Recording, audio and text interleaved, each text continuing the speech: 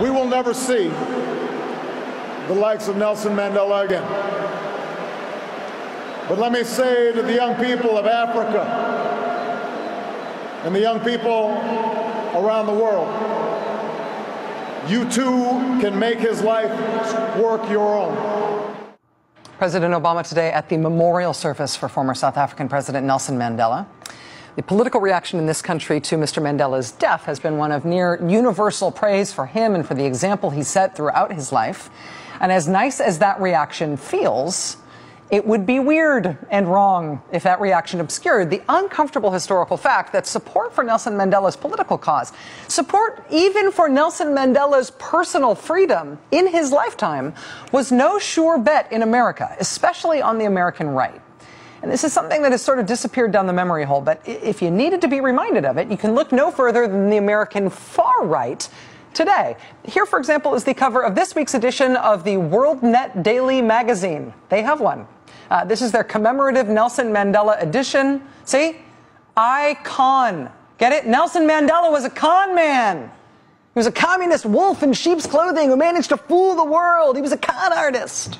WorldNet Daily ran an online poll last week, just after Mr. Mandela passed, asking their readers, how do you assess the life and work of Nelson Mandela? The leading response by a long margin was this one. He was a violent communist revolutionary who never should have been released from prison. Wow. In the mid 1980s, as most of the American political world was rallying to Nelson Mandela's side and uniting against the South African government, the political right in this country was in the midst of a big civil war on this issue. The Republican president at the time, Ronald Reagan, was adamantly opposed to sanctions against the apartheid government. He had serious backup from the religious right, which amazingly found itself in solidarity, in solidarity with South Africa's racist government. Democratic members of Congress were drawing up sanctions against South Africa's racist apartheid government, and there was the Reverend Jerry Falwell, arm in arm with South Africa's president. Falwell will return to the United States to lead a television campaign urging American companies to invest in South Africa and urging the Senate to vote against economic sanctions next month. Urging investment in South Africa, not divestment, but investment. At that point, Nelson Mandela had been in jail for more than 20 years. And American conservatives, primarily on the religious right, were leading the charge against him and his African National Congress, leading the charge in support of the apartheid government. And it was not just Jerry Falwell, it was also televangelist Pat Robertson, who's taking up the anti-Mandela cause. He said, quote, the blacks in this country have made this whole matter into an extension of the U.S. civil rights movement. I don't think they understand what they're dealing with. The religious right was joined by their allies in Congress, among them Republican Senator Jesse Helms of North Carolina, who filibustered a bill in the Senate to impose sanctions against South Africa.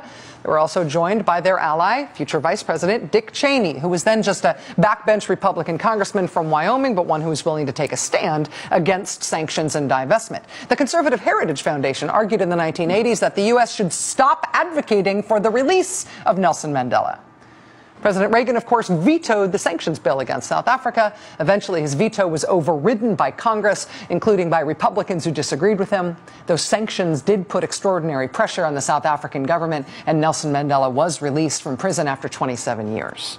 But even though it may seem now that opposing Nelson Mandela is something that couldn't have possibly happened in this country, it did.